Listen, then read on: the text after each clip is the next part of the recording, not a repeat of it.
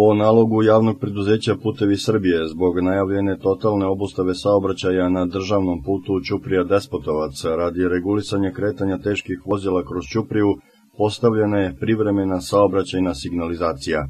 Linija kretanja kroz grad od autoputa ka Despotovcu ići će Kruševačkom, Kosančićevom, Borivoja Velimanovića, Braće Nešić, Bulevarom, Živke Damjanović i dalje ka Supskoj, Krušaru i Glogovcu.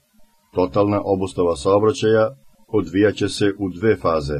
Prva od Ćuprije do skretanja za Ivankovac i druga od Ivankovca do Virina. Nadležni će blagovremeno obavestiti javnost o početku totalne obustave saobraćaja na državnom putu Ćuprija Despotovac, navedeno je u saopštenju.